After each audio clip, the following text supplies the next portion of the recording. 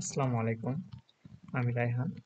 আজকে আমরা প্রিপারেশন নেব আজ থেকে শুরু করব আমাদের জব প্রিপারেশন তো আমার কাছে এখানে দেখেন যে Bangla lecture English lecture math Bangladesh affairs international affairs general science lecture তারপর হচ্ছে geography ethics value good government computer এর ভিতরে আবার অনেকগুলো করে ক্লাস আছে, প্রায় সতেরোটা আঠারোটা করে। ইংলিশের আছে সতেরো। মোট ক্লাস আছে সতেরোটি ষোলোটি এরকম করে আছে। তো আজকে আমরা ইংলিশ ক্লাস করব।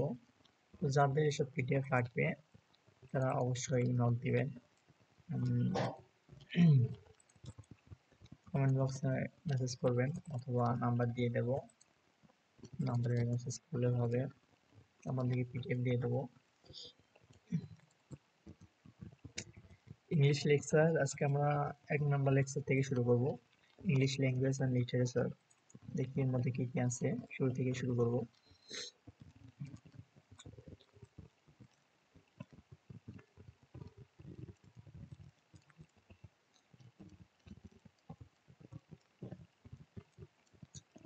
প্রথমে আছে parts of speech content discussion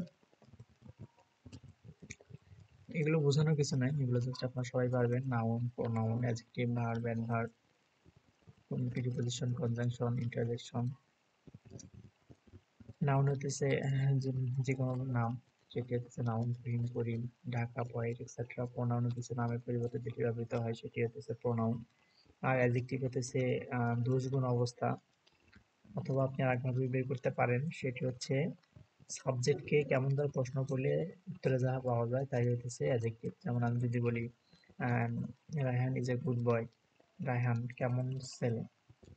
কেমন ধর প্রশ্ন করলে উত্তর পাওয়া যায় যে কেমন?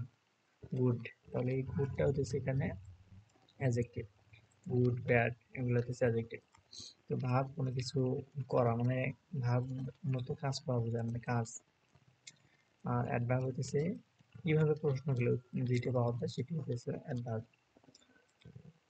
nicely dear etcetera but এলোয় থাকলে যে সেটি অ্যাডভার্ব হবে এমনটাও না। এলোয় থাকলেও সেটি অ্যাডজেক্টিভ হয়।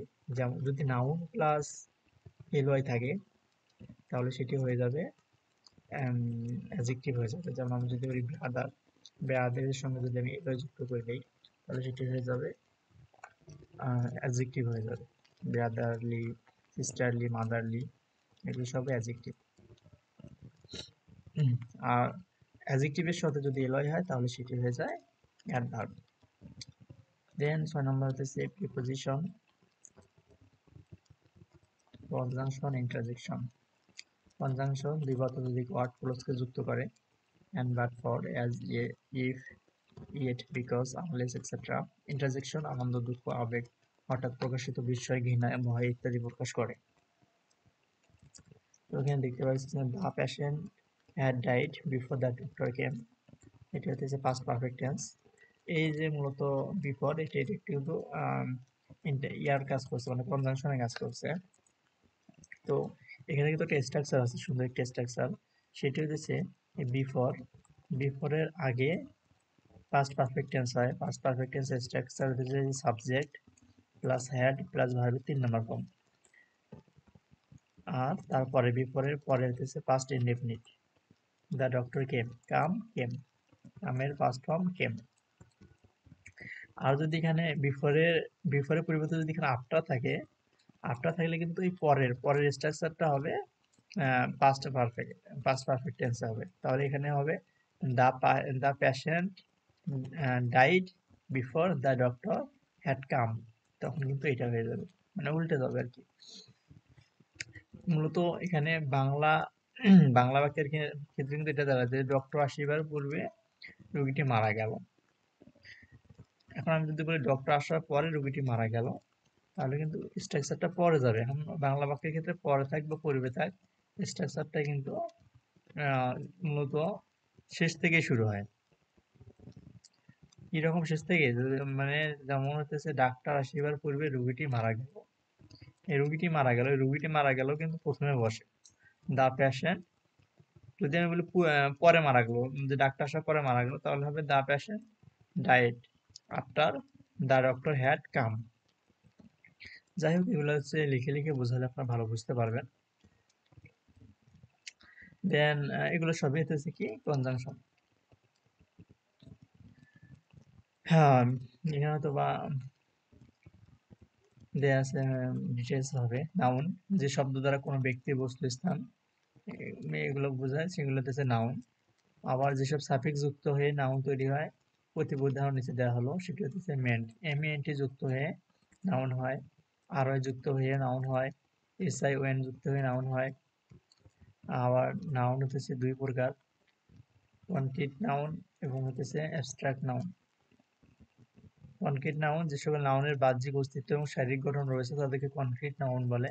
এই সকল নাউনকে ইন্দ্রিয় দ্বারা উপলব্ধি করা যায় অথবা এদেরকে দেখা যায় স্পর্শ করা যায়, অনুভব করা যায়। তাই হচ্ছে কনক্রিট নাউন যেমন chair pen etcetera abstract noun যে সকল নাউনের বাহ্যিক অস্তিত্ব এবং শারীরিক গঠন নাই, তাদেরকে অ্যাবস্ট্রাক্ট নাউন বলে।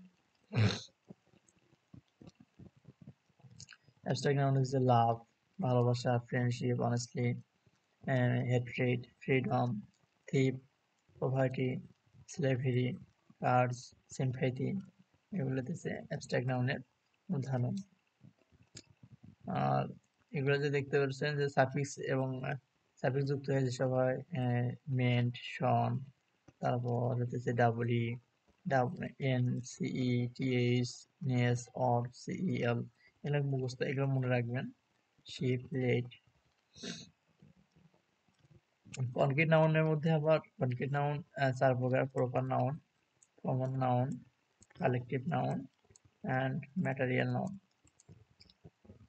proper noun যে নাউন দ্বারা নির্দিষ্টভাবে কোনো ব্যক্তি, বস্তু, স্থান, সংস্থা, প্রতিষ্ঠান, পদবি ইত্যাদি বোঝানো হয়, তাকেই প্রপার নাউন বলে।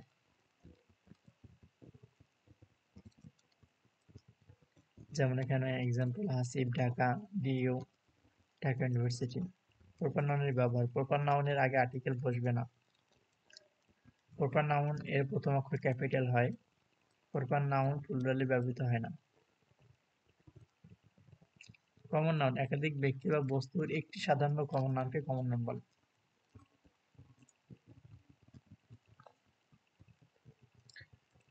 বাক্যের প্রথমে দা ব্যবহার করে the rose is a nice flower the bird flies in the sky the cow is a useful animal common নাউনের উদাহরণ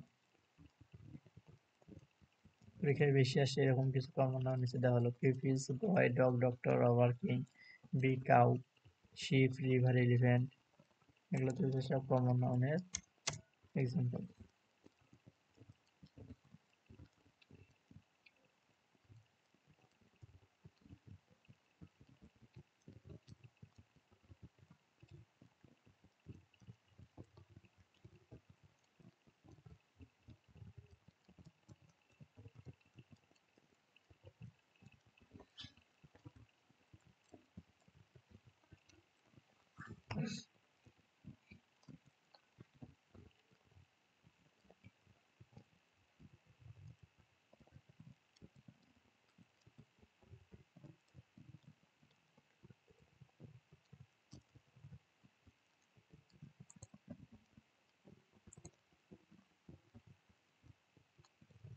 হুম, এগুলো সব মুখস্থ করবেন। বিউটিফুল বিউটিফুলের নাউন হতেছে বিউটি এটার নাউন হতেছে হেট্রেড বা হেটাও এটি কিন্তু আসছিল বিউটিফুলের নাউন কি? তারপর এটা আসলে বন্দিস্তম বিশেষ মাস্টারের নাউন কি? মাস্টারি বা মাস্টারি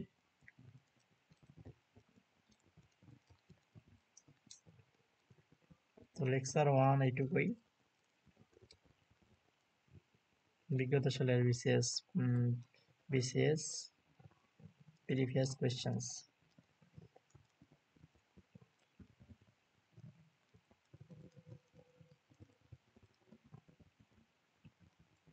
the very verb form of number নাম্বারের ভার্ব ফর্ম কোনটি? যেতেছে বি নাম্বার হবে দেখি একের বি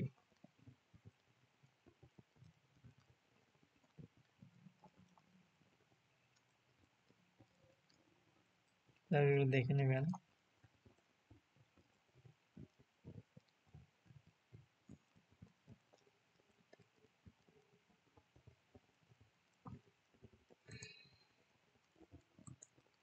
তো এই ছিল lecture one R um,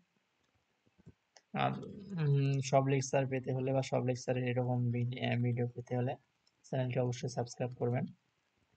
Thank you so much for watching this video